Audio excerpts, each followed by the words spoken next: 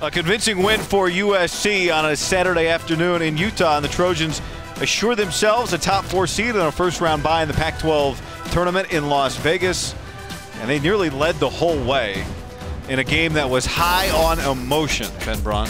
A huge win, as you mentioned, Guy, an emotional win as well. Both teams playing with a lot on the line, and you can see how chippy things got. And nobody given an inch, which is the way you want to play. But obviously, this was a day and this was a, an afternoon where the Trojans were on fire. Larry Krystkowiak not happy, and you know he's a fiery guy. He's a tremendous coach. gets gets his players to really perform. His team has probably been the hottest team in the league. But it was it was too much Jordan Usher today. It was. You watch what he can do. He just creates space. Cannot go behind a screen against Jordan Usher, and he gets corner cover, no corner coverage in the zone, and he'll just stop and pop from the three-point line up up front. So, you know, he just he knows where to be, spaces the floor, but he's just a real weapon. He and Elijah Stewart, big-time weapons for USC.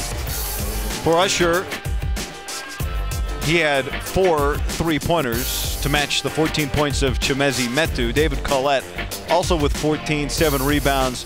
He was the only Ute in double figures. Utah falls to 10 and 7 in league play. USC has picked up its first 12-win season under Andy Enfield in Pac-12 action. They'll each play their travel partners next week.